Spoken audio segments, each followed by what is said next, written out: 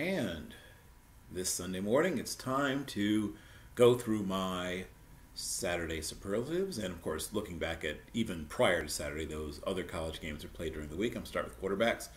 And welcome back, uh, JT Daniels. Of course, he's been playing the last few weeks after having still recovering, you know, recovering from an ACL in his USC days. And of course, uh, he's doing well. USC is doing well, but he had a very good game 16 of 27, three touchdowns, 299 yards.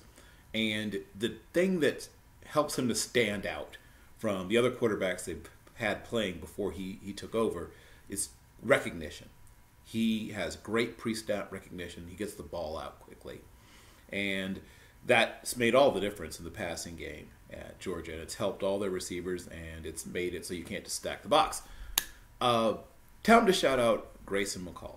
Uh, just a freshman, and of course, we all know about what happened previously with, you know, the Mullets versus the Mormons. But he's a guy that runs that, uh, you know, spread option offense. He has to make a lot of decisions. Sometimes, you know, decisions before, as soon as the ball's in his hands, he's deciding, you know, what he's going to do next, and then a lot of run pass option, and then once he decides where to pass it, there's a lot of times a lot of options where to go with the ball. He makes quick, smart, correct decisions, and he's so young.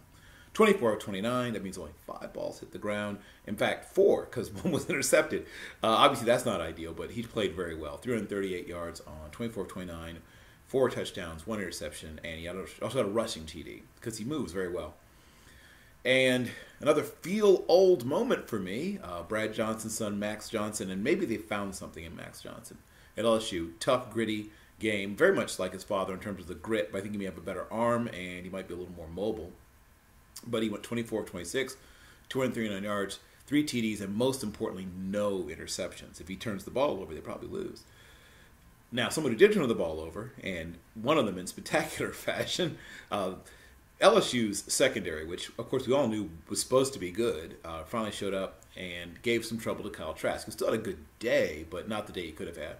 29 of 47, 474 yards, four touchdowns, two interceptions, though. Also had seven carries for minus 28 yards because of sack yardage, but also had a rushing TD.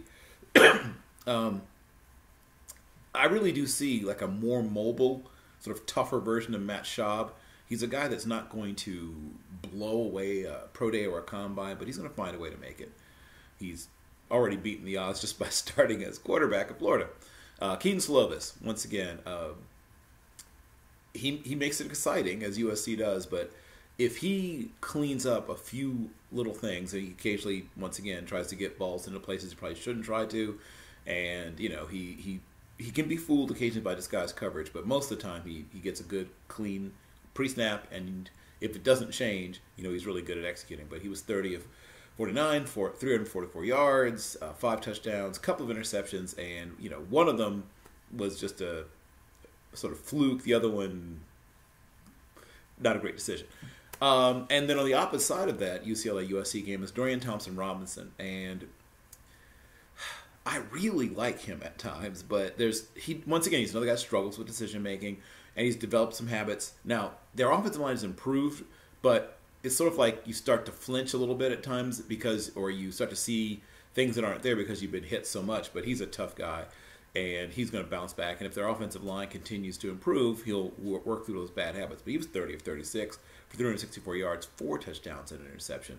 And the arrow is pointing very much up on Dorian Thompson Robinson. There was a point where a couple of seasons ago, people were wondering if he's ever going to become anything. He's going to become something. Here's a guy I really like. I've seen him twice, and I, I, have liked him more each time I've seen him. And unfortunately, he got knocked around pretty good. Uh, Rocky Long gave their offensive line and their blocking protections fits. So Jake Haener of Fresno State, who was a really good player, but he just got beat up really, really badly. But still, 26 of 43, 350 yards, three touchdowns, one interception. And like I said, just tough as nails. And if that team continues to improve, he's going to have a big year next year. Uh, Zach Wilson, obviously, a lot of people are super high on him, and I see the things they see.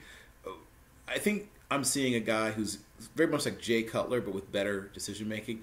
Uh, 26 of 35, threw in three yards, three touchdowns, and all the things that gave him trouble last week were not giving him trouble this week. See, he's still a guy that like I said, pressure definitely rattles him, and you can definitely get him to make some mistakes or hold the ball by changing the picture once again, as they say, uh, post snap. But there's you know a lot to work with. Here's a guy. Speaking of sort of guys back, we talked about JT Daniels. Here's a guy back, uh, Nick Starkel, who started his career back in the, in the Big 12, is now getting it done out west at San Jose State. Hey, you may not have heard this, but they're undefeated. Uh, if they win their next game, I mean, I, I know no one pays attention, uh, and obviously they've got a tough assignment in the uh, championship game of the Mountain West. But if they win, hopefully San Jose State will get some love. They have a great wide receiver in Tre Walker, and the guy getting him the ball is Nick Starkel, who went 20 of 30, uh, 306 yards, two touchdowns, an interception, and I don't think he's ever going to be an NFL starter, but could he be an NFL backup? Possibly. And here's a guy who didn't play very much, uh, but when he was in there, he lit it up. I, I, I, fought back and forth between going with him or Mac Jones, but I finally decided to go with this kid just because uh, he doesn't have quite as much help as Mac Jones has around him. But Jayden Daniels went 9 of 11. So that means only two balls hit the ground, 203 yards, two touchdowns passing, and a touchdown running on four carries and 23 yards gained. And he's still thin. And, he, you know, my sort of cheap, easy comparison, sort of young Randall Cunningham, but, you, you know, he should put on another 17, 18 pounds and – he could improve in terms of ball placement. He could improve once again in terms of reading defenses, but he's got components, right? I'm excited about his future. Arizona State's a program headed very much in the right direction. And those are my quarterback superlatives for the Saturday and, of course, the days prior of the past week.